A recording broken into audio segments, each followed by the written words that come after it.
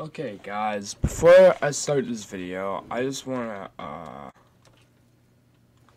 shoot. I don't even know where to start. Uh, so,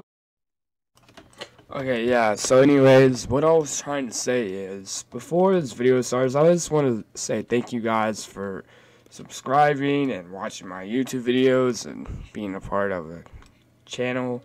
because it really helps out a lot, and I just want to to say thank you and if you guys are watching this at this point uh leave a like subscribe for uh uh for this prisoner to have uh more hope I guess. Okay